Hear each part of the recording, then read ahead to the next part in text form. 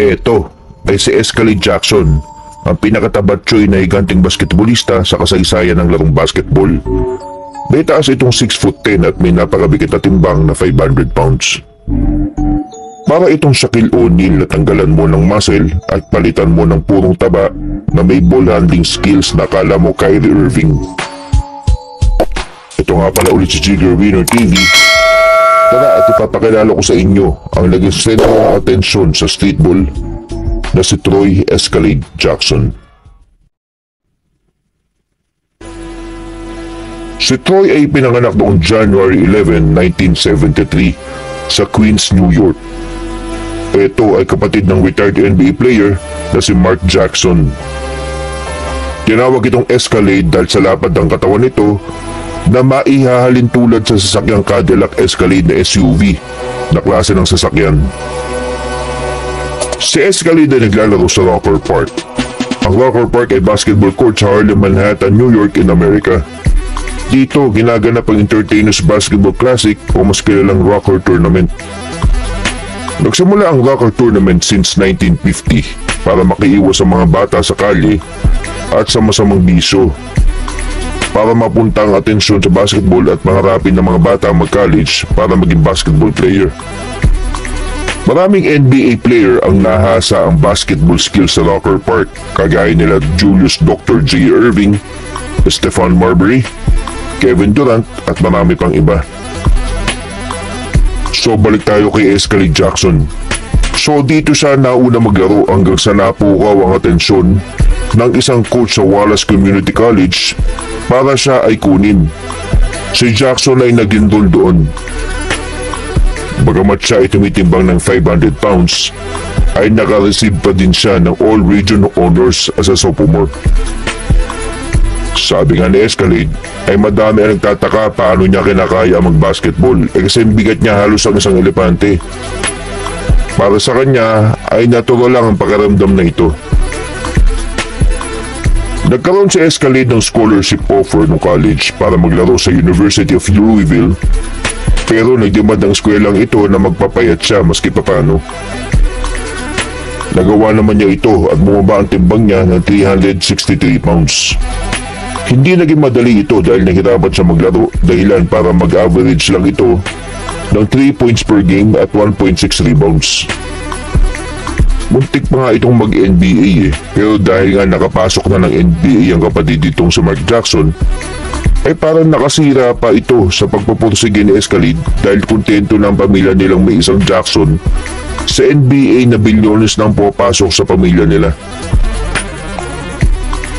Wala na ang gagawin itong si Escalade kundi kumain at bili na lang ang gusto niya. At yun ang isa sa dahilan kung bakit lumobo itong si Escalade. Nagpatuloy naman ang pagbabasketball niya. Yun nga lang ay sa Rocker Park. Naging sentro ng atensyon itong si Escalade. Sino ba namang di mapapatingin dito eh parang elepante sa laki. Magaling maglibol na kayang-kayang katawan at nakakadunk sa transition naman eh, nakakabitbit ng bola to. At siya ang dahilan kung bakit dinadayo ang Rocker Park sa New York. Nabigyan si Escalade ng break nang kinuha siya ng end one. Ito ay isang basketball apparel business. Meron itong mga mixtape na mga street basketballers. Isa na dito ay si Professor. Sigurado kilala niyo ito mga basketball fans. Isa itong ball handling guru at ito ang mga naging kasabay ni Escalade na pumasok sa end 1. At dahil naging hit ang mga mixtapes nila, ay nate-televise na ito sa ESPN2 na segment na Street Ball. Nagsagawa pa ng world tour ang End 1 para mas lalong makilala sila. Binuhay ni Escalade at Professor ang Street Ball. Ang hindi pangkaraniwang tandem ng mala si Escalade at ng patbating si The Professor ang mas nagbigay ng atensyon sa End 1. Siguro masasabi nating part ng End 1 street baller success ay si Escalade at Professor dahil sila ang pinipilahan ng mga fans noon. Taong 2005 ay na-feature pa nga ito sa Sports Illustrated. Normally mga NBA players lang ang napopost dito pero that year ay street bowlers kasama nga dito ay si Escalade. Ganon kaingay ang nagawa nila para sa end one or street ball. Ni mismong mga NBA player ay nakilala itong mga to. Imagine that. Malaki na, walang kasing taba pa. Yan ang imahe nagpasikat sa kanya. Pwede naman siya magpapayat pero bakit niya gagawin yun kung nakilala na siya sa ganong katawan? At yun ang ginusto sa kanya ng mga street ballers fans. Hindi sumagi sa isip nito na magpapayat kasi ito ang imaheng binuo niya sa dalawang dekada.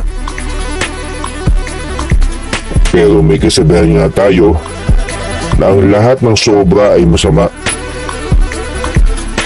So habang nagkakaedad itong si Escalade, ay lumabas sa senyales ng pagkataba ng isang tao ay may singil sa kaduluduluhan. Nagkaroon ito ng health issue dahil sa katabaan. Dahilan para hikayatin na ito ng kaibigan niya si Professor at kapatid nitong si Mark Jackson na mag-diet na. Pero dead man lang itong si Escalade. Kaya tinanggap na lang nila nakakayanin at malalagpasan ito na Escalade. Pero noong 2011, dumating ang kinakatakutan nila. Habang nasa N1 Promotion World Tour, ay bumigay na ang katawan ni Escalade dahilan para ito ay bawian na ng buhay habang natutulog. Ang dahilan ay hypertensive heart disease. At age 38 years old ay maagang natapos ang legend ng N1 street bowler. Hindi nga siya nagpapayat dahil ang katabaan na nagbibigay sa kanya ng kasikatan. Pero hindi niya alam ay ito din ang dahilan para tapusin siya.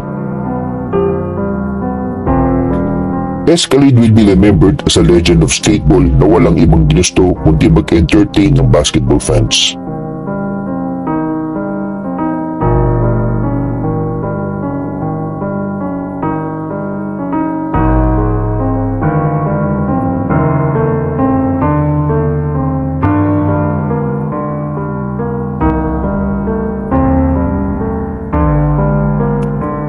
Rest in peace.